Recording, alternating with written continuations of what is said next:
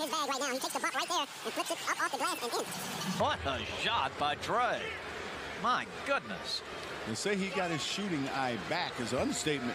Ron to start this play. Watch this one. Woo! Where'd he go? And then into the body and that left oh, hand.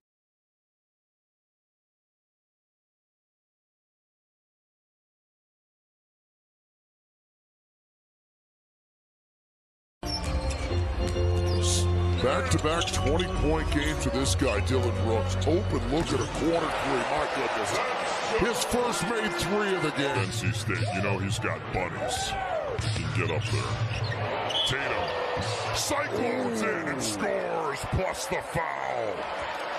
Steal. Highlights. Oh, the windmill. Jokic put it up and no, he volleyballs it, tap it, tap it, tippy. There it is. The big tipper doing his thing in the mile.